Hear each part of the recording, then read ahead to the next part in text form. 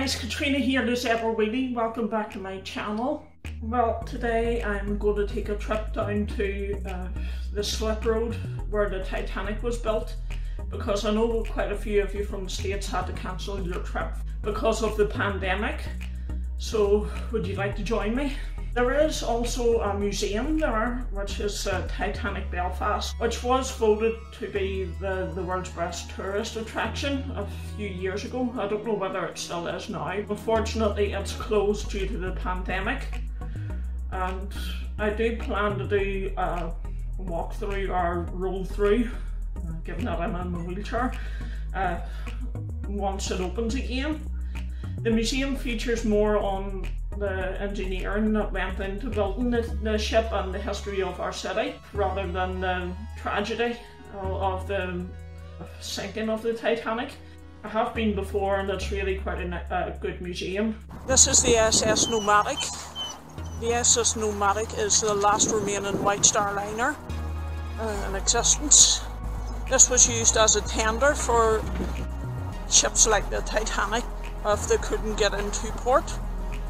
Uh, at the minute she's being used as a restaurant. She's also being restored, which is why she's in the dry dock at the minute. As you can see, there's no water.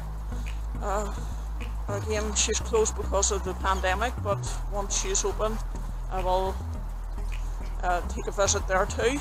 She worked out of uh, Cherbourg and she was spent quite a while over in France as, as a floating restaurant but she was brought over here quite a few years ago and restored to what she's uh, is now, but uh, she still has to be restored some more. These are the slip roads where the Titanic and her sister ship Olympic were built. Olympic was this one on the right and Titanic was on the left. These pillars here represent the gantry cranes that were used to build both the Olympic and the Titanic. Uh, as you can see they're no longer standing. This uh, slip road is no longer in use. The shipyard that built the Titanic is still a functioning shipyard. Although they've been in quite a bit of financial uh, trouble recently, I believe they don't build ships anymore. I think they fix uh, oil rigs and uh, such a, things such as um, those uh, wind turbines that uh, are offshore. Uh, they don't use gantry cranes as they did back in Titanic's day. Uh, they have a different type of gantry crane. Uh, this is one of them. Uh, there are two, Samson and Delilah. I believe Samson is the bigger one. I don't know which one this one is, but there were three Olympic class liners the Olympic was the only one to make it through to the end of its life. We all know what happened to the Titanic, but uh, the other ship, the Britannic, was used as a hospital ship during World War One, and she was sunk on the 21st of November 1916 in the Aegean Sea, uh, killing about 26 people. Uh, the wreck is still there, although you can go down and dive to it, unlike the Titanic. This is an example of the, the steel that was used to build the, both the Titanic and the Olympic. Um, as you can see, this plate has been stamped uh, SS401, which was Titanic's hull number when she was here in Belfast.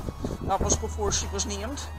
Both ships would have been propped up with pieces of wood like this um, metal sheet is resting on and when they were ready to launch they would have removed the ones from the back or the, the stern of the ship and then she would have slid into the water. At the time that she was built the Titanic was the biggest ship in the world. Of course there are much bigger ships in existence today. I think the biggest one in, uh, today is uh, an oil tanker the bow or the front of the ship would have been here and the stern or back of the ship would have been all the way down here. If you see the last brown posts at the very end where the, the gantry cranes were, that's where the, the back of Titanic would have been. Thank you for watching. If you like the video, please like, comment and subscribe by clicking below.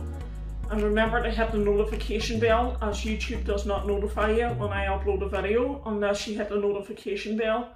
Thank you for watching. Bye bye.